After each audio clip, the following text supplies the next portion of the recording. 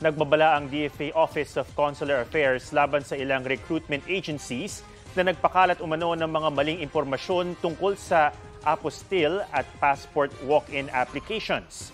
Ayon kay Christian De Jesus ng DFA Office of Consular Affairs, sinabi mismo ng ilang pumila sa DFA Asiana na ang kanilang mga recruitment agency ang nagsabi sa kanilang pumila noon ng Martes ng gabi.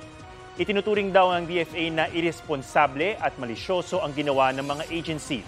Nakapagkain na raw sila ng reklamo laban sa dalawa pang recruitment agency na umano'y pinagkakitaan ng passport appointment slots. Hinihingi namin ang panig ng nabanggit na recruitment agencies.